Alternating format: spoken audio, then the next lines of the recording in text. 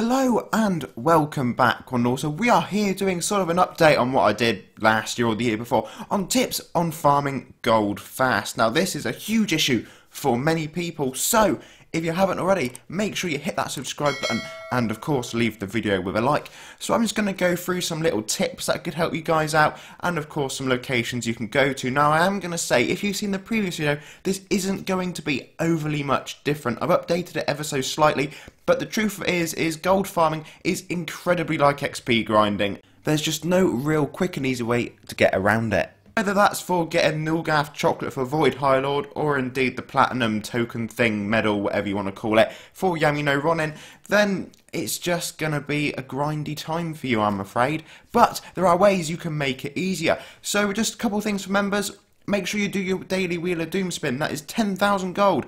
20k if you've made sure you go along and get your free daily boost first. If you are a member and you're not getting a daily boost and you're not boosting gold when you're farming for it, that is shocking. So make sure you're doing it because that will save you lots and lots of time. Literally halve your time that you're farming gold. Now, anyone that is farming, make sure you're using boosting weapons if you have them. Things like the recruitments, but we'll come on to them slightly later.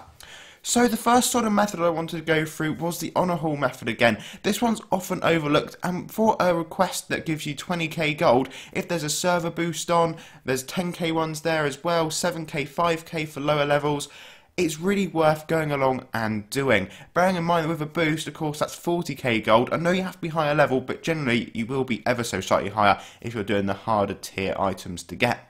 So Ice Storm Arena, I've put this in as opposed to Nightmare nowadays because this is actually an incredibly good place to come along and farm. Without any sort of boost, you're getting 400 plus gold each time that you're killing something. And if you're in there with a group of people grinding it out, it will stack up really, really quickly. And that is the kind of method that I use when I'm out of boosts, although that's not very often at all. So the Leery contract, this is still the way that I farm for gold. And this is the way I've done it for Void High Lord, and it's the way I'm going to do it for Yami. So of course you turn in your diamonds to get your unidentified 13 13, and then you can use that unidentified 13 for the Leery contract quest, which is 100,000 gold standard. Now you've got to bear in mind that as I'm a member, I do fully boost this one up, so I'm getting 250k gold per turn in. So if you're a member and you're not doing that method, I'd thoroughly recommend giving it a go. Even free players, if you do have access to uh, getting an unidentified 13 or you've got a couple spare, that could be 200,000 gold for you just like that. So it's definitely worth doing.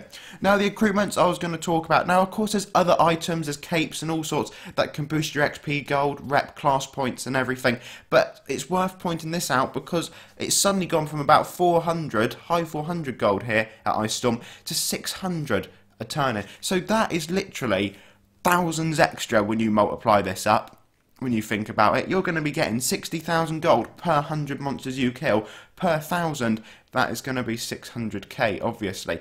Now, I don't expect you to be here farming for 600k worth of gold because that would be soul destroying. But don't worry, because if you think about it logically, when I was doing Void High Lord, I was always farming for gold last. If you're not farming for gold last, there is an issue. If you're doing Yami and you've got 4 million gold stacked up right now, just buy some of those medals just so you can get some more gold coming in. That is exactly what I'd be doing in that situation.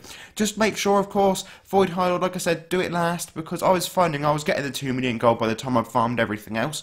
So guys, good luck with your farming and thank you very much for watching. Make sure of course you leave the video a like and subscribe and I'll see you all again very soon for the new event.